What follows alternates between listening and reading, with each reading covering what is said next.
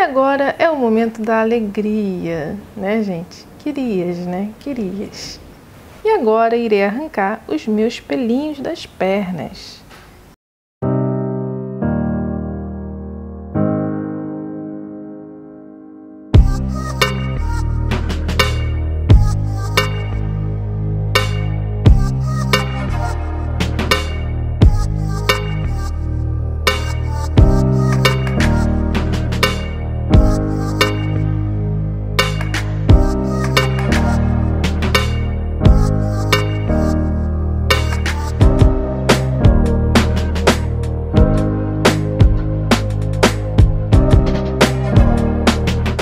Agora farei uma maquiagem básica para poder sair e comprar algumas coisas que faltam para as férias.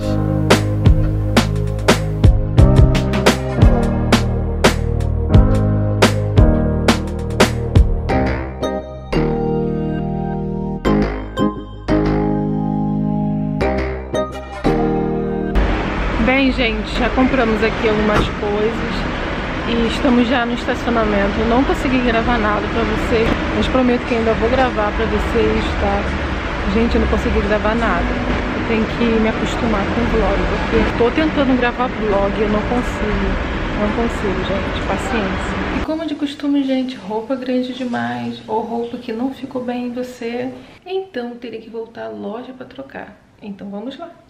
E ainda deu tempo para terminar esse chinelo havaiana, pessoal. Eu queria muito terminar ele a tempo e consegui, graças a Deus. E depois eu vou trazer aqui no canal para vocês mostrando como é que se faz, ok? E hoje o tempo tá assim, ó, tá com pouca nuvem. Ontem choveu bastante e pensávamos que ia até ficar nublado hoje, mas tá assim, o tempo abriu um pouquinho.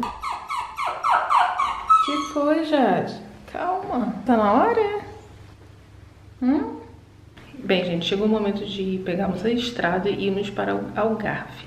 Então, até mais.